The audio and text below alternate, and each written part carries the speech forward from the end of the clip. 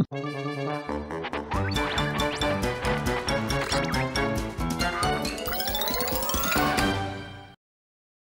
now and then, when I'm looking through the toy cases, I come across a toy and I think to myself, why on earth did I buy that? What on earth was I thinking? It's what I call woe toy, W-O-E, what on earth? There aren't that many of them, but um, some of them are quite big. And this one here, for instance, is a woe toy from about 30 years ago. Why earth did I buy this? It's got sharp edges everywhere so that um, I couldn't take it to kids' parties because they all cut their hands on it. It's quite crudely made, but I suppose it's slightly ingenious. What to do? Well, you've got to wind it up a few turns, and we've got to open the gate and see what happens. Ooh, I'll try and wind it up again.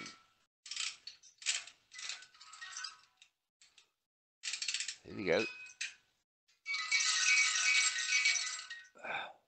How bizarre. Quite a quite well depicted, but very crude and, and very coarse, but very refined in some ways as well. I love the idea of a little a little light over here.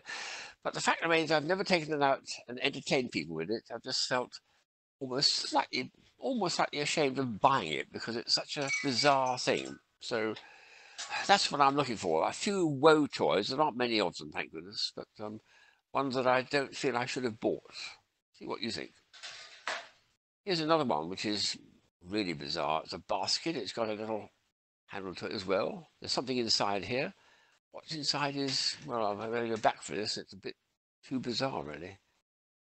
It's made from a stocking. Extraordinary, isn't it? Look at that face. Look at that face. Oh, goodness, it's grotesque, isn't it?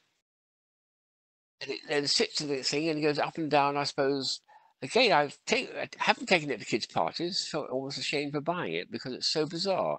And I suppose you could just hang it there for as a decoration from from from a door or something to entertain or horrify the guests you're doing it. But uh, thank goodness you can put it away and make it disappear, which is a, help, I think.